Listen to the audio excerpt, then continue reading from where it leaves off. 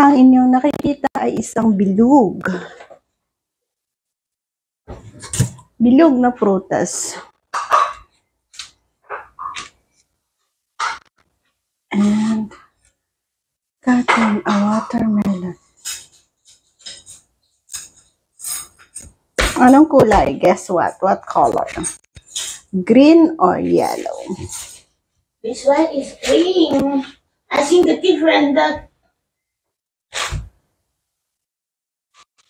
Yellow. inside is yellow, huh? Yeah.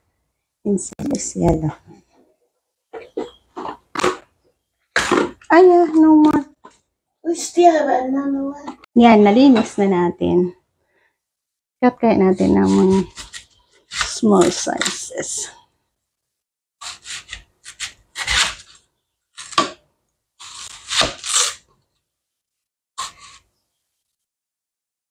Sana ba kayo? Yan.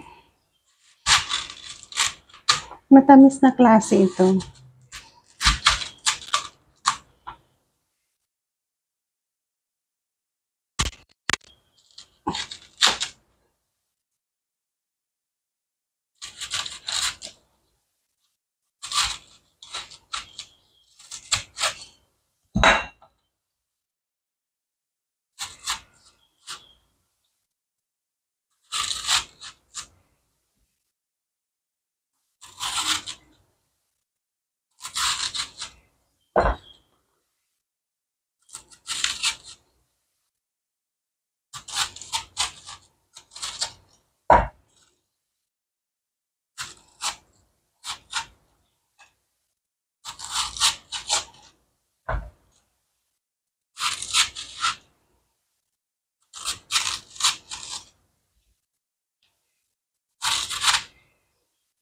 At naubos natin cut lahat. O, di ba?